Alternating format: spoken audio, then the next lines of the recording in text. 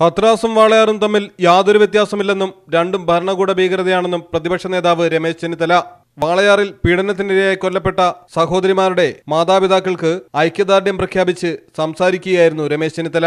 അടുത്ത തവണ U D F അധികാരത്തിലെത്തിയാൽ സംഭവത്തിൽ കുറ്റക്കാരായ ഒരു ഉദ്യോഗസ്ഥനും സർവീസിലുണ്ടാകില്ലെന്നും രമേശ് ചെന്നിത്തല പറഞ്ഞു. സർക്കാർ ഇതുപോലെ ക്രൂരത കാട്ടാൻ പാടില്ല. വാളയാർ സംഭവം എത്ര തവണയാണ് നിയമസഭയിൽ ഞങ്ങൾ ഉന്നയിച്ചത്? ഇവർക്ക് നീതി നൽകണമെന്ന് എത്ര തവണയാണ് നമ്മൾ ആവശ്യപ്പെട്ടത്? കണ്ണു തുറക്കാത്ത ഒരു ഗവൺമെന്റ് കേരളത്തിൽ അധികാരത്തിലിരിക്കുന്നു.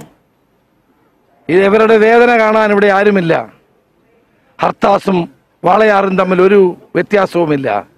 രണ്ടും ഭരണകൂട ഭീകരതയാണ്. ഈ ഭരണകൂട ഭീകരതയ്ക്കെതിരെ കേരളം ഉയർന്ന് വരേണ്ട അല്ലെങ്കിൽ ഒറ്റക്കെട്ടായി നിൽക്കേണ്ട സന്ദർഭമാണ്. ഈ അമ്മയ്ക്ക് നീതി കിട്ടണം. ഈ കുടുംബത്തിന് നീതി കിട്ടണം. അവർ നടത്തുന്ന ഈ സമരം അതുകൊണ്ട് തന്നെ പ്രാധാന്യം അറിയിക്കുന്നു.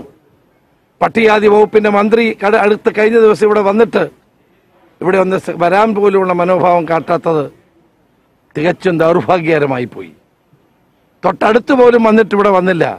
എന്നിട്ട് അദ്ദേഹം ചോദിക്കുന്നത് എന്തിനു വേണ്ടിയുള്ള സമരമാണെന്ന്? ജില്ലയുടെ ചുമതലയുള്ള ഒരു മന്ത്രി കൂടിയാണ്. അദ്ദേഹം ചോദിക്കുന്നു എന്തിനു വേണ്ടിയുള്ള സമരമാണ്?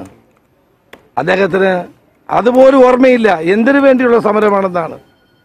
രണ്ട് പോലീസ് ഉദ്യോഗസ്ഥന്മാർക്ക് പ്രമോഷൻ കൊടുത്തിരിക്കുന്നു. ഈ അച്ഛനാണ് പീഡിപ്പിച്ചതെന്ന് പറയാൻ അവരെ പോലീസ് നിർബന്ധിക്കുന്നു. എന്ത് കാടത്തമാണിത്? ഇതിനെതിരെയുള്ള പോരാട്ടം ശക്തമാകണം.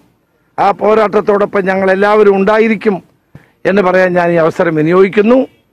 ഇവിടെ പോസ്കോ കേസുകൾ അട്ടിമറിക്കുന്ന പാവപ്പെട്ടവർക്ക് നീതി ലഭ്യ ലഭ്യമാക്കാത്ത ഈ സർക്കാരിനെതിരെയുള്ള ജനവികാരത്തിന്റെ പ്രതിഫലനമാണ് ഈ സമരത്തിലൂടെ ഞങ്ങൾ കാണുന്നത് എന്നാണ് എനിക്ക് പറയുവാനുള്ളത്. ഈ വിഷയത്തിൽ അവർ ഏറ്റവും ഒടുവിൽ ആവശ്യപ്പെട്ടത് നിങ്ങൾ അധികാരത്തിൽ വന്നാൽ ഈ സോജന അടക്കമുള്ള ഉദ്യോഗസ്ഥർക്കെതിരെ നടപടി സ്വീകരിക്കണമെന്നായിരുന്നു ആവശ്യം. ആവശ്യത്തോടെ എങ്ങനെയാണ് തീർച്ചയായും യു ഡി എഫ് അധികാരത്തിൽ വന്നാൽ ഈ ആളുകൾ ഉത്തരവാദികളായ ആളുകൾ ആരാണെങ്കിലും അവർ സർവീസിൽ ഉണ്ടാവില്ല